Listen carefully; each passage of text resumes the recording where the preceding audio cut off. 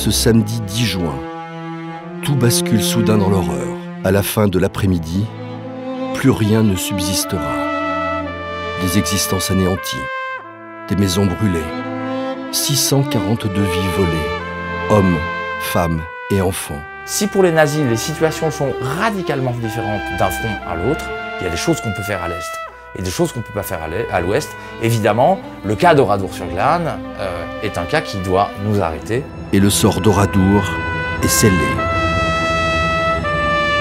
J'ai pris deux balles dans les jambes, une ici, une ici. Cependant, à l'orée de l'année 1942, la Wehrmacht s'englue dans une guerre statique. Elle s'établit dans l'école après avoir réquisitionné automobiles, bicyclettes et divers objets et semé la terreur dans le bourg.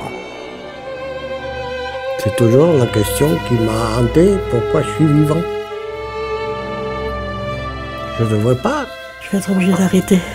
Les 27 jours de débat tiennent la France en haleine. Deux régions y exposent leurs drames respectifs. Décision injuste pour l'Alsace, qui, solidaire comme jamais, prend le deuil. Pardonnez. Non. Oubliez. Non. On ne peut pas. On peut pas. Si Oradour est désormais un lieu de rapprochement entre les peuples, un lieu où célébrer la paix, l'oubli et l'absolution totale restent impossibles, vu l'ampleur insoutenable du crime. Quoi qu'il en soit, 70 ans après, le temps est venu de comprendre Oradour.